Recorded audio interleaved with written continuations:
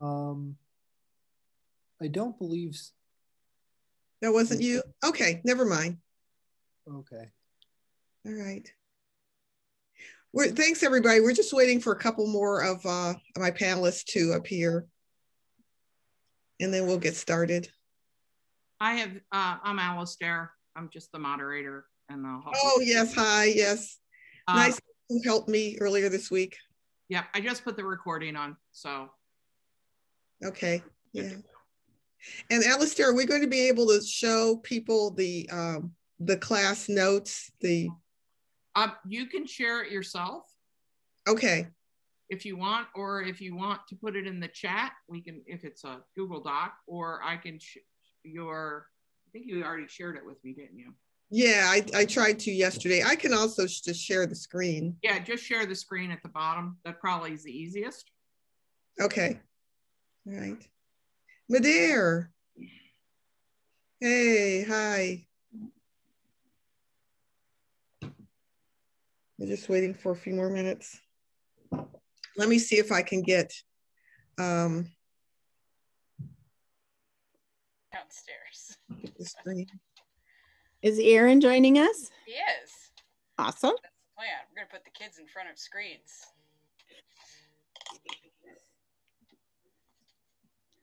Okay, are you seeing my screen now? Yes, I see lots of different things. Oh dear. Okay, let me uh try to get rid of the work stuff.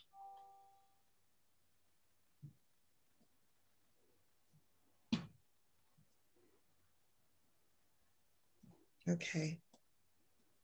You guys are going to have to bear with me because I'm not good at Zoom and doing classes over Zoom and all that stuff. So I apologize in advance. Well, I tell you what, why don't we get started? And if there's more people uh, coming, they can. Uh, Yeah, I don't see Hargith. right. And, I, and also uh, Stefan, who I talked to last night. I know he wanted to come. Uh, Lady Harrogate, I, I, she was a little iffy, so we'll, we'll see, we'll see. But anyway, uh, I'm uh, Lady Jalicia Ate Northcliffe, and I'm out of the Barony of the Cleftlands, which is in the Mid Realm. And I wanted to do this class on music as service because uh, that's something that I'm very passionate about in the SCA. Um, and I had wanted to do this for an event that got canceled, of course. So I thought I'd take this opportunity to try to do it. So um, just to tell you a little bit about me, I play recorder, I play a little bit of psaltery. I'm trying to learn the piano now. And um, my thing is, I kind of think of myself as a court musician. Uh, not that I'm, I, I'm not like appointed or anything. I don't have any grand title, but you know, I, I feel like my thing is to supply music to SCA to to help with the ambience, to help with dancing, to help at court, um, elevations, anything that I'm asked to do. Um, you know, that's what I do. So that that's that's my thing. So why don't we uh, have everyone else introduce themselves, my panelists, and um, I just want to say going into that uh, this is a panel. We want a freewheeling discussion, and we've got our discussion points, which I hope you can see. And we'll go through and uh, probably after each block, I'll probably open it up for questions. So you can put them in the chat or you can, um, you know, kind of raise your hand or whatever, and we'll call on you because we do want everybody to give their opinions and thoughts and, and uh, experiences and everything. So why don't we start with uh, Mr. Stradwiga? Do you want to introduce yourself and say a little bit about yourself? I'm Mistress Yadviga from Middle Kingdom, specifically Cinnabar, which is Ann Arbor, Michigan. Uh, I play music. I play lots of things. Uh, I play recorders and keyboard and viola da gamba, and I'm taking shawm lessons right now, and it's very exciting. Um, I've also led a choir for like a number of years. Um, I stopped when I got pregnant, so about five years ago, I haven't really led a community choir. Um, I used to play in bands all the time, but since the pandemic, and not so much. All right, it's probably good for me. And Lady Siri? Uh, hi, um, and I am also from Middle Kingdom, also from Pentamere, and uh, Northwoods is my barony. And uh, I've been teaching music for 35 years as a as my regular job. And I play recorders. I have a little group called the Roaring Wastrels that um, uh, varies in its like uh, numbers all the time. And uh, Baroness Gwendolyn and I did a class at uh, Virtual Val Day, and we realized that we had put together more than 20 balls. We're thinking about 25 or more, um, or dance sets or whatever in our uh, relationship, and that was pretty cool. And I invented the coral ball, and along with uh, Master Jamie Blackcloak of Canada. And um, so I'm the one who does that. And I did one stint as the Crystal Ball band director, and I was really excited about that. Okay, great. Is Master Aaron with us? I am here. Hello. Hi, I'm- Aaron. Aaron Drummond from Cinnabar as well. In fact, just downstairs from Mistress Yaja. And music-wise, in the in the SCA, I edited the Pennsic pile, which is a collection of dance music that we use at Pennsic for a number of years. And I was in charge of organizing musicians for Pennsic balls for a number of years, as well as uh, our long-running dance event here in Cinnabar, Terpsichore at the tower. I play violin, I sing, recorders, hurdy-gurdy, shawm, other stuff too. Um, also perform with uh, my band from time to time, but I think that's about it. Okay. Do we have uh, Viscount Stefan? Stefan, are you with us? I just got here. Yay! Hi. Tell us a little bit about yourself. Oh, uh, There- Hi. well, I've uh, been active since I think it was AS9 in Drachenwald. And then because I was in the Air Force, uh, ended up in, uh, I've also been in Caid and then retired here in Atenveldt, which by the way, it's 68 degrees here, folks. Oh, great. as a as a as according to uh, Master Fahrenheit. and uh, currently here in the barony of Tir Ysgithr, which is mundanely Tucson.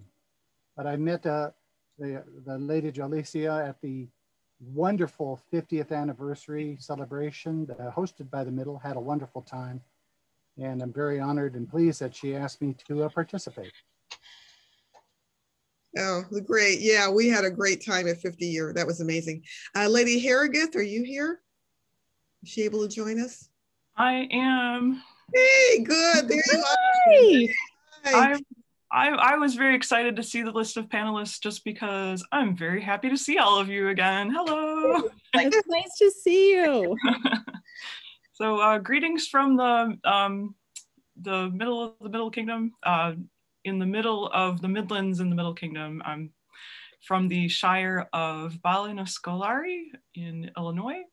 Um, my name, uh, my uh, musical background is that the next thing that we wanted to tell about. Um, uh, started out as a player in modern band orchestra um, and uh, somebody handed me a recorder no uh, master christian Hiver handed me a recorder at an event and said you might be interested in, you said you were interested in music do you want to give it a go and they're suddenly dragging me into playing music for the feast the very same day that i learned how to play the recorder Ah, yes.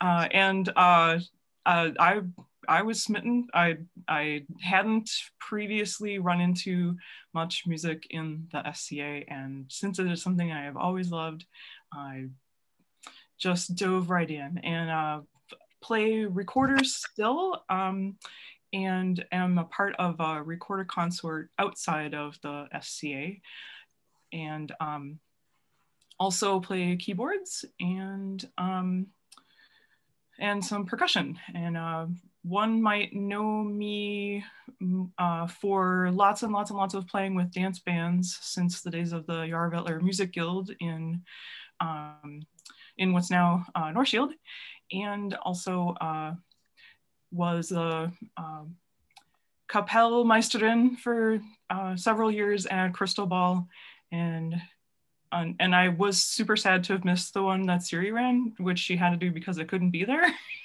but it sounded like it was so fun. the, the substitute, I, I, I, I managed the class quite well.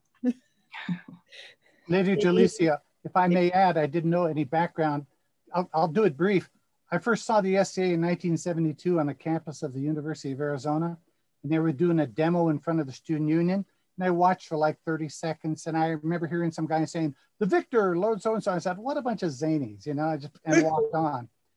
And then, but later, uh, when I was active duty, I walked into a music store in Denver, Colorado. You know, bought a five dollar recorder and a six dollar book, and taught myself to play. And then I was stationed in Germany, and now I'm looking for it. I mean, I want it. Hey, where is it? Well, that was way before the internet. So a couple of years went by, and uh, in one of the maintenance bays, I was the the officer. There was this tech sergeant there, and and we're just killing time because we're inspecting a bunch of stuff, and we're just chatting. And there was a three day weekend coming the next week, and I think this was a Tuesday.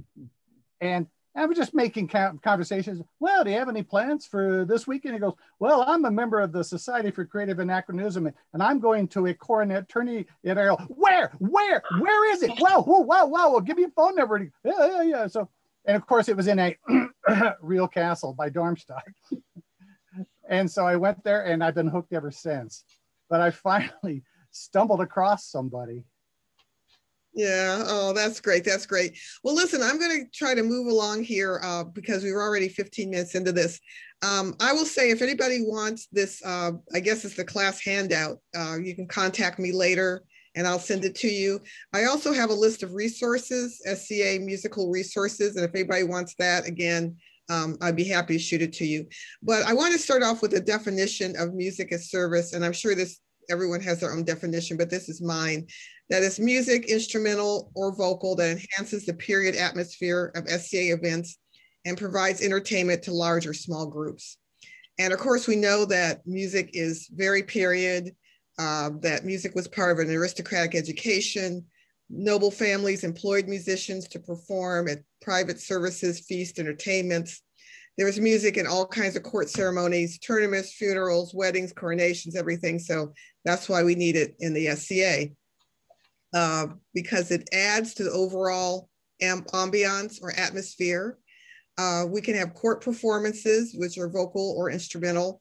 Uh, coronations and elevations need music. Of course, dance. Uh, you can have groups, baronial and local groups. And then there's also all the Pennsic groups that form there. And then there's also teaching classes, uh, encouraging others to expand their repertoire and enhance their SCA experience. Um, so with that being said, do the panelists want to add anything or uh, uh, Stefan is raising his hand. Go ahead. I like the first bullet here and why we need, uh, without question, whether it's a formal performance or just, I, there's little doubt no matter what group our, our visitors and our friends are here, that there's a pickup group, people just sit and basically jam, which is fine, you know, providing background. And I don't, and I do it every event, whether it's myself or a couple of us are just sitting and playing. I don't care if it's a whatever, you know, an outdoor event, that it's rare for one or two gentles at the end of it to come up and thank us and say, yeah. Oh, thank you for the wonderful music. Oh, it adds so much. And we smile graciously. Well, thank you. It's our pleasure. We glad you we're glad you liked it. But I'm wondering if other people who do it, you're just sitting jamming with a couple other people. And to me, it does add to the ambiance. It does add to the atmosphere. And I actually think it's basically essential. Yeah, yeah, yeah. I'm always like floored when people come up and thank me for playing. I'm like, are you kidding? I love this. You don't have to thank me to do it. Um, anyone else want to chime in? Yeah. Um, don't you remember that you and I uh, were practicing at Tiger Hunt and people were thinking we were performing? Yeah.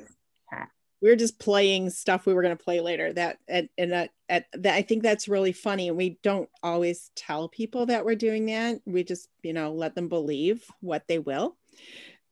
Yeah, yeah. we're yeah, we'll discuss later performance versus just jamming. And like I said, people will walk up to you. They think they're performing, but you're just jamming. But you smile graciously. Oh, thank you. You know. yeah, yeah, yeah. You know, I, I don't. I'm probably preaching to the choir, but I just really want to encourage everybody to get out there and play. You know, I've never had anybody um, react negatively. I mean, even when I was beginning and I could barely play hot, hot cross buns, people are still impressed. You know, they really are. So just do it. Just get out there and do it. Um, okay, moving on. Uh, we I was going to add a quick addition, if I could, too, in that um, one really great thing about jamming or uh, planned performances is um, they tend to be the place that really draws in the attention and um, desire to participate in the SCA of children.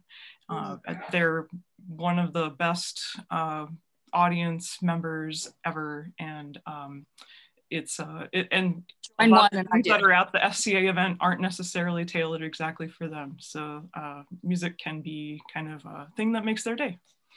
If I may add, we meet on my barony often, well, 90% uh, at a city park, and it's one of the larger parks. And people will wander up and just, you know, kind of wondering, what's this zaniness? And there's been about three times where someone wanders up mundane clothes and listens to our music. And well, we say, oh, how are you? And we start chatting with them. Did you play? Well, I play a little guitar. And so, you know, well, you'd like to join us? Well, okay. And, you know, he's reading the chords on there. And we've gotten three people into the barony, into music that way. They were just wandering through the park. We were nice to them. We invited them to sit in. And within probably five minutes, we hooked them. Yep. Yeah. Yeah, I always travel with an extra recorder so I can say here, you know. Okay, so now we're going into ways to add music. We all agree that we need music, our events need music. How how can you slot it in? Where are the places where you can make yourselves useful? And so the first we want to talk about is court. Um, you can do it prior to court. Uh, you can do it during, you can do it after. I have a recorder group, uh, local recorder group that I founded it. And uh, like Herewith said, it, it's attendance goes up and down, up and down. What we do is something that I call prelude to court, where we'll play, um, we'll prepare like eight to 10 songs and we'll play them during that time when people are standing around, they're bored, nothing's happening. Um, but then we also will play as the um, as the Royals are coming down, and I tell you that's really impressive. If you can play while they're progressing in and as and as they take their seats and everything, it really really adds a lot. But there's um, there's pros and cons. And Siri, I know you were in a group one time where you were playing, you were tasked with playing during court. So can you talk about yeah. that a little bit? Um, yeah, our Roaring Wastrels played for all but three of the courts of Rongwald and Arabella uh, their third reign. And we started off with big guns. You know, we had all our instruments, and then we realized that that was going to be just too loud. And I'm going to use the word obtrusive because. It, so we ditched the soprano recorder over time we decided that we were all going to play the just the tenor recorder and keep things like uh, in the background so that it's not interfering with with the business of court. Um, and we also decided that playing from the back of the venue was going to work out better. Um, even though the people in the back are in the back so they can chit chat i know i'm i'm kind of you know uh, you know let letting you know that. Um, and then there we got a little bit of shushing here and there but you know they got used to it because the king and queen had requested that we do it and so that was a lot of fun we got a lot of experience and we learned a lot of music so I, I felt that that was a very valuable experience for us. One thing, I'm, I'm sorry. Go ahead, Jalicia. No, I'm Erin and then Jadwiga. I wanted to get her in. She hadn't said anything yet. Sure. One thing I wanted to say about adding music to events is that it's really important to coordinate with whoever's in charge of the space that you're in. It can be a really frustrating experience to go to an event, be prepared with your instrument, say, I'm going to play, and then being told that your music doesn't fit with somebody else's vision. And it's off it can be really very dispiriting. And so if you're able to coordinate ahead of time and understand what the expectations are it'll be a, a better experience for everybody. Um, the the other thought i had there is about when you are playing at an event and injecting your music into an event i find that people are usually much more appreciative if they are not forced to listen to the music, if they have a choice to be there or not. Mm-hmm. Um, if you are you know, the court thing was, was great. I had a lot of fun doing it. I also didn't always work perfectly.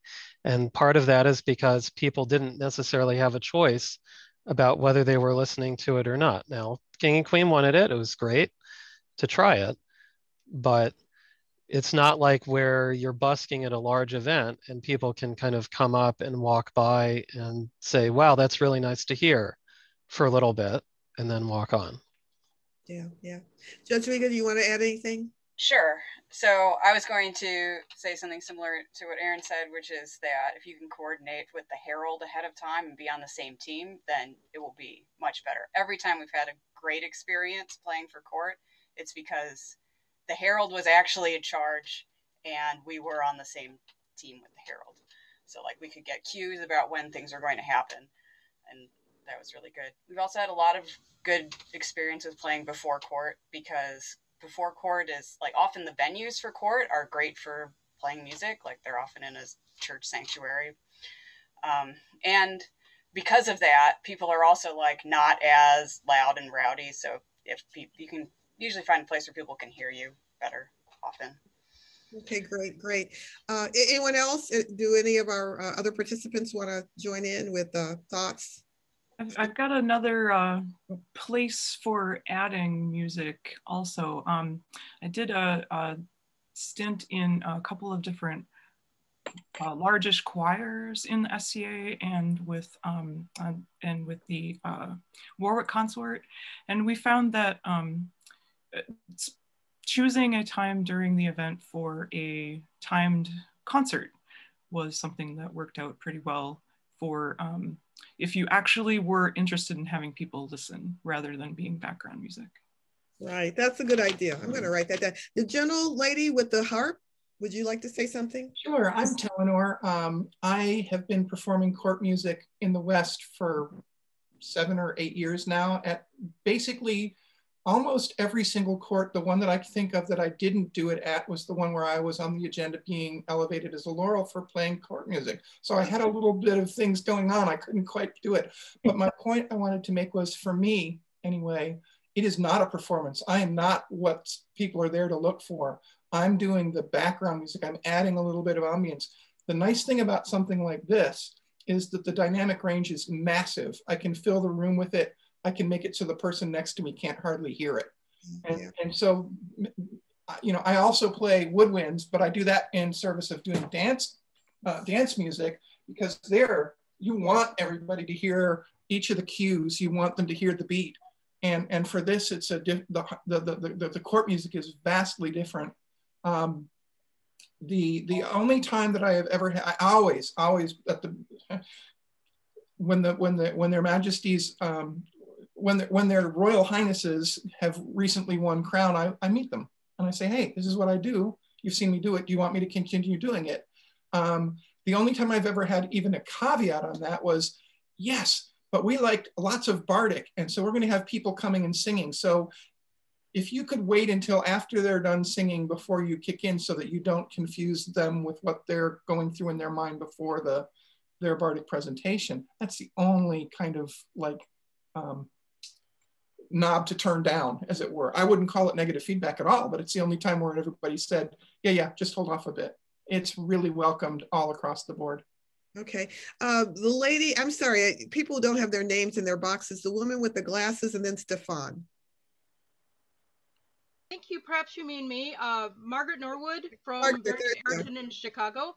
Uh, formerly manager of Court and Country, which is a choral group uh, that's been we just hit our 10th anniversary. I left the group right as the pandemic hit, so that's why I'm former. Um, but one of the cool things that we did back in the early days when the group started out with basically four women, that's all we had. And we had a rule that if any two of us were at any SC event, we had to we had to offer to perform. And most of the time they took us up on it. And as the group started getting larger and larger, we also ended up moving uh, outside of the SCA. But that cardinal rule in the early days got us a lot of performance time and and got us uh, got us a little bit more uh, um, appreciation profile, higher profile. Yeah, that's great. So that's you know, like I said, it was the cardinal rule of our director, uh, Tulare, that if any two of us were at an event, if we didn't volunteer to perform, and preferably more than two, but at least two, uh, she was going to give us what for. All right, that's great. Stefan, and then I think we're going to have to move on because we've got a lot to cover. But well, here about the court. I think without question, I've never had a problem in Three Kingdoms. The 10, 12 minutes before court, whatever your little pickup group, you play right up before court. And I've never had a complaint. Now, of course, if you're going to do something during court, you without question check with the court herald and coordinate. But what we do, and it's my idea, and I think people love it, is we have a piece. Okay, we're sitting in the courts coming up. We have a piece up on our music stands. And at the final, you know, this hereby closes, huzzah, huzzah, huzzah. At the last huzzah, we launch into something, you know, within 10 seconds, it's usually bright, da, da, da, da, da, and everybody loves it. But you, you know, you, don't sit there, well, let's play something, let's play something. We have it on our stands, and at the, at the last of the huzzahs, we launch into it, and people love it. It, it, it adds a, a joyous end to the court. So I, I would recommend it. Yeah, that that's a great idea. Now here's the other uh, big thing is feast. Are you going to do, uh, and and that's another common time when you know music is appreciated. Um, but are you going to do background music? Are you going to do a performance? And then um, if you really want to get fancy, you can do music from a specific time and place. Like if the feast is 15th century Italian, you can do all 15th century Italian um, music. Um, there was a feast at 50 year that was all, I think it was Greek, and we did all Greek music. That was really, really That was something else. Yeah, that was fun. It really was. That was about, that was good. Yeah. Um, anyone want to talk about pros and cons for playing at Feast? Oh, uh, God, I do. Whoa, whoa, whoa. Aaron and Herod, Herod. Sure. So I really love doing background music at Feast. I think for me, the thing to really think about is making sure that I'm moving around the room so that it's not kind of one table who's only hears the music. Um, the other thing to really carefully consider is what kind of music you're playing during feast, what instrumentation you're using. Um, vocal music might not work as well as recorder or harp, you know, shawm would probably be too overpowering for a feast. So really thinking about the space that you're in and and what instrumentation you're doing and recognizing that you know what you have to offer might not always work for the environment you're in, but you can always find an environment where what you can do will work. Okay, Hergrith, I think you wanted to chime in. Yeah, uh, well, I just also, um, before I say my piece, I wanted to let you know that there is a participant with a hand raised. Uh, Tracy? Yes. Oh, I'm oh. sorry, Tracy. I didn't see you. Uh, oh, that's Tracy? okay.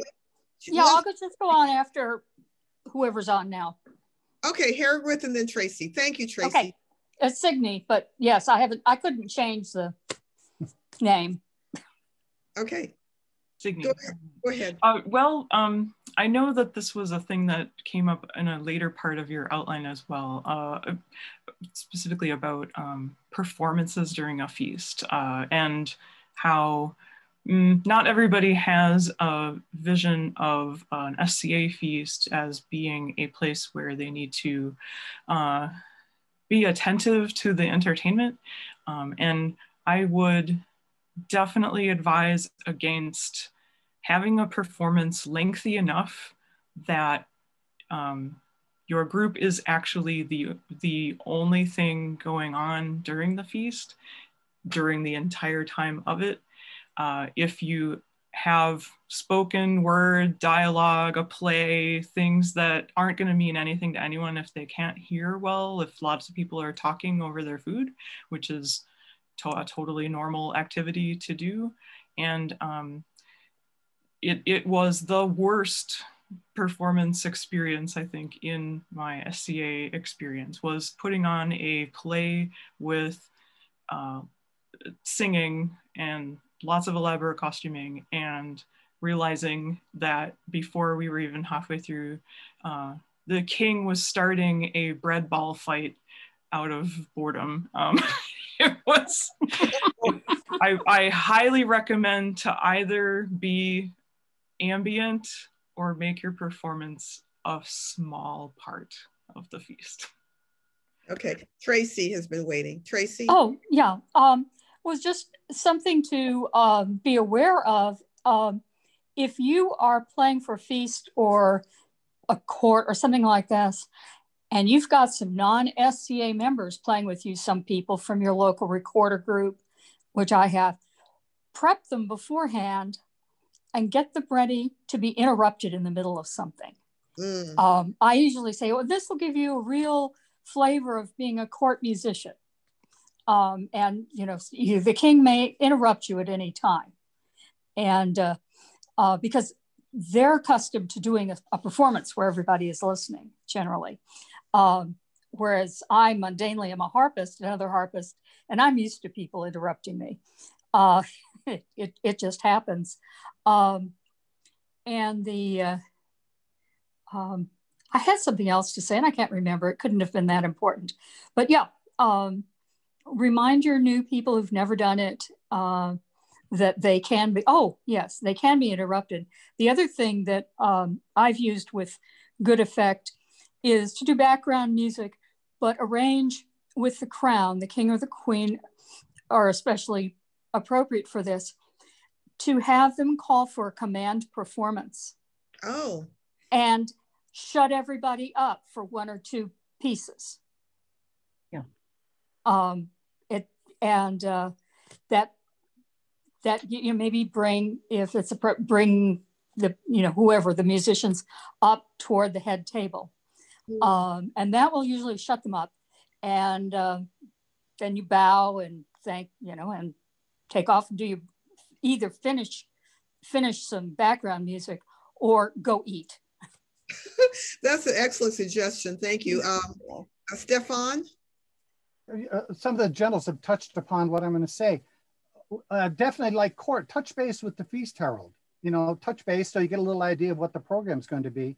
And we have a great working relationship here. It's understood. Again, there could be three or four of us just playing background music. He'll come up to see, just gives us a signal and we we shut down because he, he's going to make an announcement or whatever. And we totally understand and I may be uh, dating myself, but from my times in Drachenwald and all that, when the Herald announced a group, it was part of their structured entertainment, where there was a poet, a bard, a juggler, a sketch. Gentles were expected to, you know, the voice of the, the, the prince, the voice of the king, and they were expected to be polite for announced entertainment that was part of the structure of the feast. And so, uh, but definitely touch base. We have no problem. We're just happily sitting over there playing background music and we get the signal, of course, we, we stop immediately because something's going to happen. And we totally understand that. Yeah, I, I think flexibility is key. It really is. It really is. Um, all right. Does anyone else have any uh, any other comments? So uh, yeah, well, we did, um, the Northwoods did a, an event called the Grand Tour, and we did two of them. One, uh, those Grand Tour of the 13th century, and another, the Grand Tour of the 15th century. And it was centered around a feast, but we, uh, our group did music the entire day. And then we also performed the entire feast. They fed us too, which was, it was really well organized event. We really liked it, but we were, uh, basically providing that that we are kind of emerged into the 13th century. So all of the music was 13th century and all the food was 13th century and that was pretty good. But those events are rare that you know the the uh, uh, the autocrat is requesting that there be music throughout the entire feast. And so um it, usually when i've been involved in a feast it was you know by request and I have we have had uh, I think someone mentioned a vocal um, when it's time for a vocal uh, performance. Uh, it does it it doesn't lend itself to performing while people are eating. So yeah, having someone say, um, "Let's listen to this person sing," because you know. Yeah, that is a great idea. Uh, let's move on to performing solo, and there's lots of things here to think about. Um, are you going to do something mm. impromptu versus rehearsed? Um, showmanship. If I may add on this, I was going to add, this also applies, applies to uh, ensembles. I provided some of these bullets. Solo or ensembles, a lot of this stuff applies for both. Right. Right, right, yeah. Uh, gauging the theme of your event, gauging your audience, uh, volume, song performance, and length. Um, all these things come into account. So, which of these do you think is the most important, or, or uh, you know, the the ones that people should consider? All of the above. Yeah. If I if I may comment, because the first bullet impromptu, and it's up there there's nothing wrong with impromptu or busking and all that, but as a general rule, I would recommend you say that for more of a, a Bardic Circle type venue. If it's a, a feast, uh, I, I have nothing against you know, bards, poets, and entertainers, but I think it should be something you feel very comfortable with. You at least you've semi-polished it, and so you can do a, a family, you know, and also with you'll have more confidence. Hopefully, you won't bomb. So uh, impromptu is great for informal stuff at a feast, I would recommend any gentle. Have it be something you've you've pretty polished. I mean, you're you you have confidence that you're going to do a pretty good show. Yeah, yeah. Aaron, um, how should somebody decide uh, about their song or performance length? How do you gauge that? Oh, you're specifically asking me performance length. That's an interesting question. I mean, I think it really has to do with with what your goal is. Are are you actually standing up and performing? Have you been given a spotlight and attention? If so, you know, maybe three minutes at a feast max. If you're kind of been invited to do something during court, you know, I wouldn't go much more than that. If you're at some kind of, you know, showcase where there's a bunch of people going, maybe three things, 10 minutes, maybe 15 at the most. But um, you know, I would be very careful not to kind of hog the spotlight. Um, and of course, if you're doing background music or busking, it can kind of do whatever you want because people don't have to give you give you their attention. Yeah, Tracy, do you have your hand up again? No, I think I think I just uh, accidentally hit that. Okay. All right. All right. Um, Herewith, uh, what would you say about volume? How do I, you know, we all tell people to be louder, but that's kind of hard to do. Do you have any tips about that? Um, it has so much to do with how big the room is if you're indoors, or um, how uh, how far away the the back end of the people who are listening are in an outdoor venue. And yeah. um, uh, boy, you know there there are instruments that are louder and softer and those you might need to choose instrumentation based on where you're at so that um, it will either not overpower um, other things that are supposed to be happening in, at the same time or, or, so that it will fill the room if you need say processional music to be grand and inspiring you know don't uh, don't play it on flutes uh, because they're just not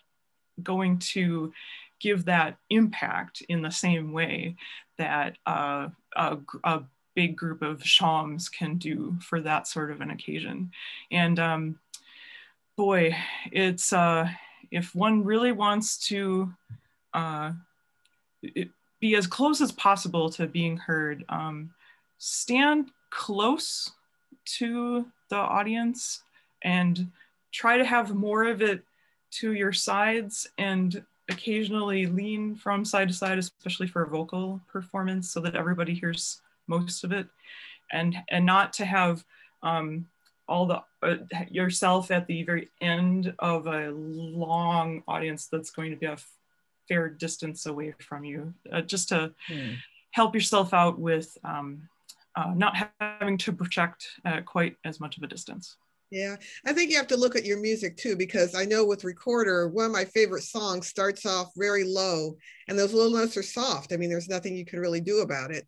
And then as the song goes along, it gets higher and louder, but I just have to remember that probably no one's going to hear me until maybe the 10th measure when it gets higher. Stefan? If I can offer on this, this was my, is I've, I've, I've done this many times, especially for like 12th night or a feast. Ask a friend of yours to be like a half or two thirds of the way when they know you're going to be. Now, this is assuming it's going to be a scheduled performance. And they, they unobtrusively, they're back and they can give you a little higher, they can give you a, they can give you an unobtrusive hand signal so you can control your volume and that works really well. And so, you know, you can have a shield out there. It's not unusual for us with our ensembles going to play during setup is we'll actually do a semi sound check. Ask somebody to be in the back of the room. idea. But yeah. somebody, somebody actually during your performance can be giving you subtle hand signals about your volume. Okay. Anyone else want to join in? On this, on this whole block? Yeah, yeah. I, I, saw another gentleman talking about showmanship, and I've I said a lot of it, you know, it comes from experience, but even you should uh, try to encourage even beginners to try to hook your audience, engage them, you know, act like you know what you're doing, and here's my show, and you're gonna love it, and a lot of it is experience, but you know, like the, I saw a comment, look this way at your audience if you're singing or playing, look this way, hook your audience and a lot of it does come from experience, but we should encourage beginning performers to do that. You've got to engage your audience. And if you engage your audience, you're probably going to be successful. That's actually what I just said in the chat. I've been putting some comments in the chat when when you guys were talking that making eye contact and connecting with your audience is super important for solo performance. Yeah, I, I was in a uh, a class once on performance, and the guy who was, I think, semi-pro, basically, he was very, very uh, experienced. He sang a song and he looked at each person, each one of us in the class, and he drew us all in. It was just amazing. You know, that's that's what you have to do. If I can relate a tale on this, I was asked to judge something at Estrella or uh, for youth, and there was a young uh, gentle about 15, and he sang about a three-minute saga, but he was, I could tell he was always looking up because he's trying to remember the words and so I counseled him. I gave him feedback afterward. Uh, it's part of that, you know, try to be prepared. And in the last two years, he has done so well. He's being recognized. He's winning awards because now he's he's he's looking at this part of that. Uh, and then I went over there, and then over that, uh, and he's adding that animation, that presence. And now he's being recognized and winning awards. So again, we need to encourage exactly that. Hook your audience, engage them, look them in the eye. Exactly, exactly. All right, any other comments? Because, uh, oh, we've only got 10 minutes left and we've got probably oh. the biggest one to talk about is starting a vocal or instrumental group. How to find like-minded musicians. Uh, Facebook. Pardon? Facebook. The census says that 80% of the SCA gets their information from Facebook and that's where you start. Um, you know word of mouth of course is important but people look at their facebook and they look at you know various groups that they're interested in and that's basically where you start. When you want to communicate with people when you want to meet them when you want to get information to them or about them you go to facebook. I don't yeah i don't think that I know not everybody does I mean, this is for sca right so we have about 17 minutes. 17 minutes. Right. Okay. I'm not saying that it is a 100%, you know, it'll reach every person. It won't. But I'm just saying that most of the mm-hmm. SCA people will be reading their Facebook. Yeah, yeah. Jadwiga, uh, did you have something to chime in? Yeah, I guess if in terms of finding people, you know, in the before times, I would go to an SCA, like my local group, and start playing music and hopefully some people would come up and be like, "Oh, I would love to also play music." Like that's how I've always found people. In the, like, yeah, how I. I mean, I haven't had to find a new group in a long time, mm. but yeah, yeah. My my dance practice and be like, "Hey, I can play some dance music," and then they will come. Yeah, yeah. Hergwith, I think you have a group, don't you? What, what's your experience been? Uh, not having necessarily been the founder of a group, um, that's a that's a, a bit of a new that would be a bit of a new thing for me. I've I've founded a lot of um, jam groups. just hey, there's a person I know who likes to sing, and there's a person I know who plays an instrument, and let's all meet up at 3 p.m. in somewhere and have a good time making some music, uh, and then go our separate ways to the four winds at the end of that time that was fun. And um, and and uh, I I think just looking here at the handout, one one bit that's really essential is knowing um, if if you want to found a group, do you also want to have to teach music? Um, if you want to do that, that is a great way for um, making new musicians happen in your area that will probably uh, go on and do great and wonderful things even beyond your group. If you are not intending to teach music, do not have your group be everyone is welcome. Make mm. sure it's an invitation only group if you don't intend to teach. Okay, great. Uh, the general with her hand up. I thank you. That's me again. Yes, yes. Uh, as the as again former manager of Court and Country, when and we went from four to at our biggest thirteen people. I can tell you that uh, what we did, and it was primarily by me, the token extrovert, is anytime somebody indicated that they liked our music, anytime anybody indicated that they had any interest, skill, experience whatsoever of anything musical, I asked them if they wanted to join the group. I never let an opportunity go by where I did not follow up on any shred of interest that anybody explained. That's actually what drove the group to be two thirds non SCA and one third SCA because a lot of the people that that kept getting joining the group were not SCA.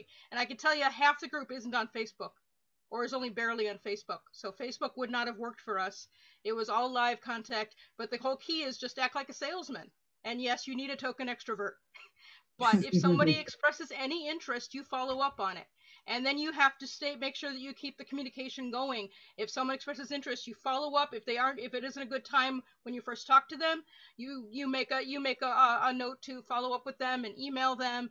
And don't be a pest but make sure that you're you're persistent with your communication until they at some point where they they indicate that it's just not a right fit for them in the end then you drop them off. But the key is you have to have good communication and you have to follow up on any bit of interest if you're trying to grow your group if you're not, that's a whole different story. But if that's your goal is to grow the group, you it works. I can tell you 100% it works because that's what I did. And 80% of the group came directly from me doing that. Right. a really good point about recognizing and um, inviting talent when you see it just around. That's that's a great. Yeah, Stefan. And part of this, Facebook is okay. Emails. I mean, spread the word. But no, it's like the expression, nothing succeeds like success. It's nothing succeeds like exposure. The more you play, the more you're visible, the more you're going to be noticed, the more people are going to show an interest. So I wouldn't be shy about, you know, getting out and playing. And if anybody, the, the other gentleman said, if anybody shows the least bit of interest, you show interest in them. You never know when you're going to find a, a gem, you know, someone who is just going to be a, a, a wonderful dynamic addition to your ensemble. So get out and play. Yeah, I, I want to throw out a, a, problem that I've had and, and see what our panelists and, and everyone thinks. We'll have a group of people uh, who are like, you know, intermediate, you know, whatever, and we're practicing a group of songs. And then we get another person who uh, is maybe not quite so far along. They're maybe more of a beginner. And it seems like we have to start back from zero, from ground zero, teaching them the songs, getting them up to speed meanwhile everyone else is bored because they know the songs and, and we have to you know take everything back to a, a slow pace a slow tempo and everything. Um, but but i you know like siri and many of you i i don't want to ever turn anyone away and say well you can't join us you know or whatever or we don't want to go through this the, the zillionth time. So how do you deal with that when you have people that are kind of at, at two different levels? How do you make everyone merge? Yeah here with. Uh, yeah, so this was a thing that happened all the time in uh, Music Guild because it was everyone is welcome. Um, then uh, everyone might not even uh, start by owning their own instrument or having a fantastic voice, but uh, there, there, the solution that people came up with uh, before I arrived um, was a in a two hour time block for practicing together, the first hour was considered JV hour. So that would be the teaching time. The second hour would be for um, playing. uh, playing through new things, sight reading, uh, doing something that's a bit of more of a technical challenge for the more uh, advanced musicians. Your JV people may be able to participate if they're able to simplify the parts, but um, that, but they're not required to stay if they're not ready for that yet. And um, as long as there's a sufficient number of people in both groups um, that they can have crossover as people feel more confident with their playing and singing. And, um, and then people who uh, have an interest as a more advanced musician in uh, teaching other people can be there for the first hour, but they're not required to be if that's not really their thing. Okay, great, great. Aaron and Jadwiga, yeah, do you guys have any ideas along those lines? Yeah, I mean, I've I've tried a lot of different variations on this over the years, and I'm sure Yaja will have stuff to say too. But regarding kind of playing for for dancing, um, a couple things that that we've tried doing is of having weekly practices before our big dance event where people who weren't as comfortable with the music could come and practice and learn the music but then others might still show up and play the day of. Um, and, and, kind of the same thing even if, if all we have time for is a practice the day of at the event that can still be helpful for musicians who might not be familiar with the music um, and wouldn't just feel comfortable dropping in right away. Um, but still and then honestly even for for more experienced musicians that can be helpful just to know what keys are we playing in what roadmaps are we using so things don't come as a surprise during the ball. So i, I know siri and harrogate have also uh, done that kind of thing. Highly recommend that. Yeah yeah, um, I with the Roaring Wastrels, we have had a couple of musicians uh, come join us who are either new to their instrument or um, they're just new to like the dance community. And what I've I've actually done is I've gone to their house and worked with them individually. So that's one that's one solution, but it's not practical to do that all the time. Yeah, another thing that's hard is to have a repertoire group where you are learning a big group of songs that everybody knows because then when you get a new person they have to like learn the whole repertoire and it can be overwhelming and they feel bad. So what i did because i like learning new music is we would just be constantly learning new music and would rarely go back to old stuff. And so at least everybody is learning new music. And so in that sense the new person isn't that far behind everyone else yeah. But it's definitely hard with dealing with different difficulty levels. Right. Of course, then that disappointed the people who had learned the repertoire and were comfortable with that and didn't particularly want to learn new music. So you, can, you cannot please everyone, unfortunately. Right, right, right. Yeah. Uh, anyone else have uh, ideas, things they want to I play in an ensemble here called the Merry Minstrels. There's seven of us, only three are SCA, but bless the heart, the other four are willing to play for major events. Like we've been invited for 12 nights. They played at my elevation and they're really good sports about it. But we strive to have, and we also give school demos. We strive to have a, a core repertoire of about oh, 15, 16 songs that we're just nailed. We could we could meet and, and nail it, but we also explore new music too. So I think maybe on ensemble, you should strive to have a an emergency core at short notice. You could cover something and then by all means also explore new music. All right, great, great. Another well, thing that you can do is um, do what our Laurel did at Robion in Chicago, which is you have a sight reading group and it's just sight reading all the time. Mm-hmm. And you don't have to play all of the notes. You can just play like one or two. And if you get that, that's great. And eventually you'll get better. And if you can commit to that, then that can be okay too. Right, great. Anyone, I'm getting the five minute uh, sign. Um, so why don't we open it up? We had a couple more things to talk about, like how to find repertoire. And um, I'll put my email at the top of this, um, what I'm sharing. So you can email me if you want to see uh, my, uh, my resource list. And then uh, dealing with negativity. I mean, these are some things that I've heard, um, you know, that people don't want to listen to a performance at Feast, um, feeling like only the most talented, wonderful people should ever perform. And I don't want to listen to someone who maybe is just starting out or isn't, you know, extremely wonderful.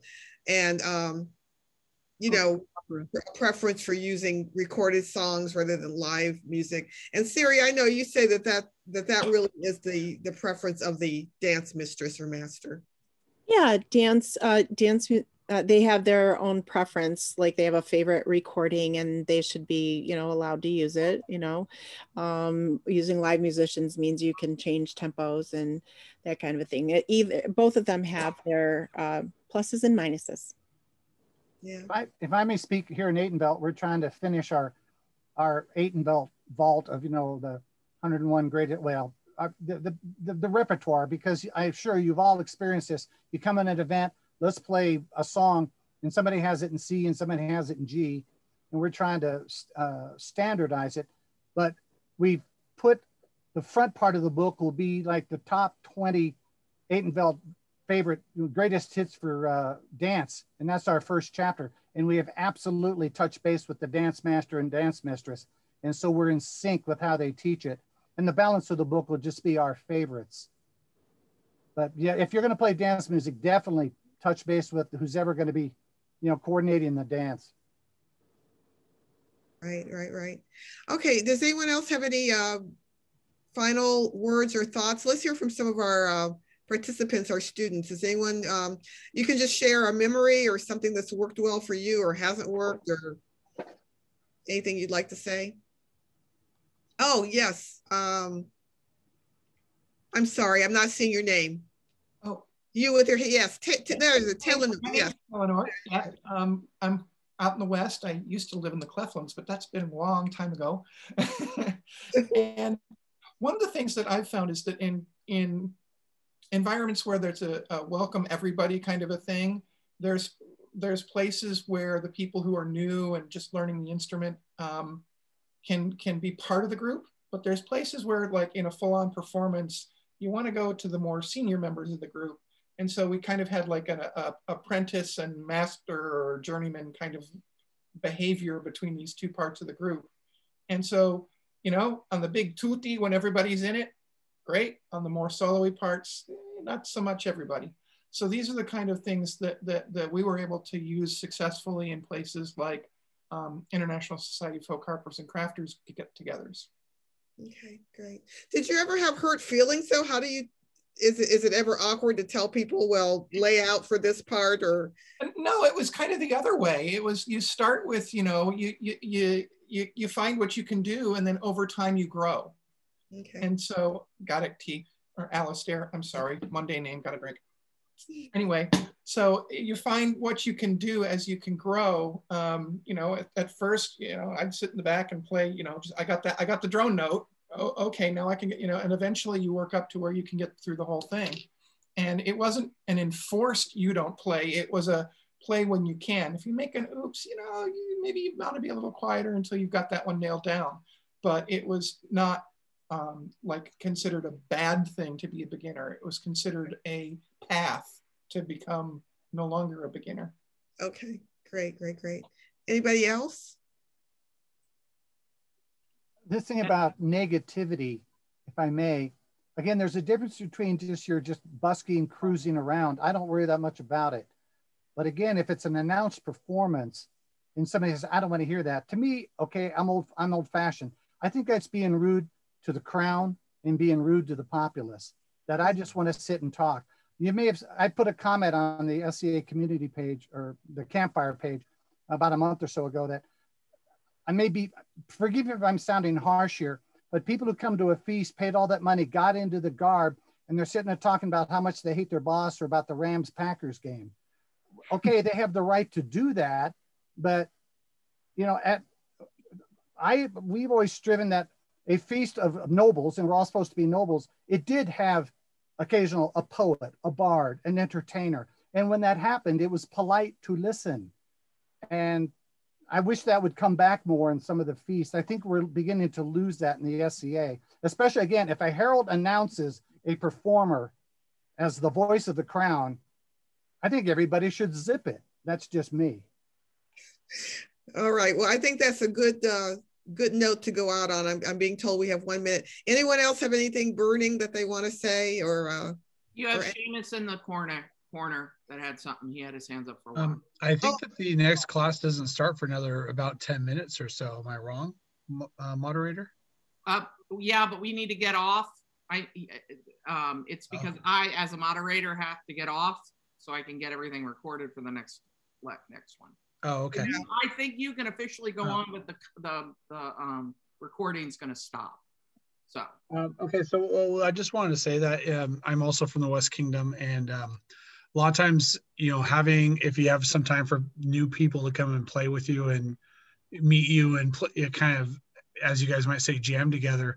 A lot of times, if you're going to some other point, the new people and you kind of know what the skill levels of each other are, and so a lot of times that might make it a little bit easier if you're doing maybe a more complicated piece or or something and uh, it might be something that's beyond their skill level because you've already established a relationship with that person and to not it, it may not seem so cold but just you know hey we have this thing going on we this group here knows what's going on and then they can do it and then you can join right back up when we go to some do something else later on yeah so that might be a good thing too and yeah. uh, it also gets people involved because you get people with all sorts of instruments who want to just have a good time and sing and play music and stuff so yeah. I find that to be a lot of fun.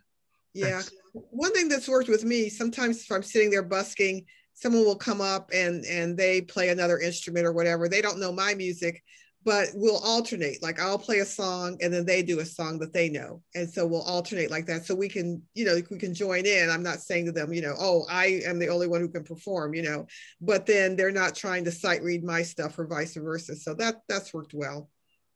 Yeah. Okay. I think before we, we leave, I say thank you, Lady Jolicia. Uh, wonderful. Thank, thank you to all of you. Thank, thank you to all of you. Vivat. Thank you, for, thank you all of you for sharing with us. Oh, thank you to all of you.